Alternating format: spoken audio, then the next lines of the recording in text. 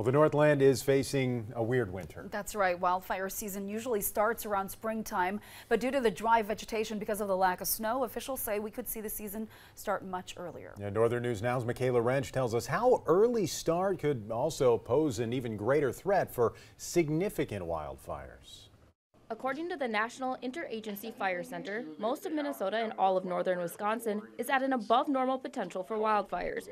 We are the only part of the country with this distinction. According to the St. Louis County Emergency Management Team, a vast majority of these fires are caused by humans.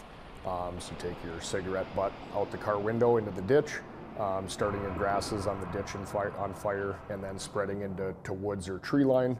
Um, could be from campfires, uh, not putting those out overnight, or once you're once you're leaving those. Some wildfires can't always be seen by the public eye.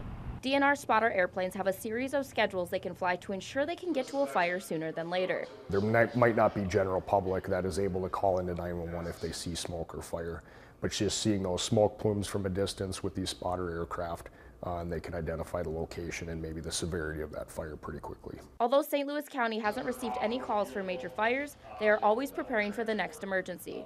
During this time last year, the community was preparing for a flooding compared to fires. It could rain 12 inches on us next week in 24 hours. It's happened before, it will happen again.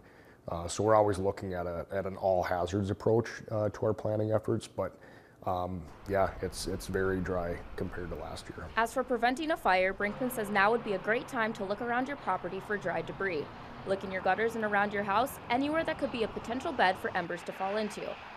In Hermantown, Michaela Wrench, Northern News Now.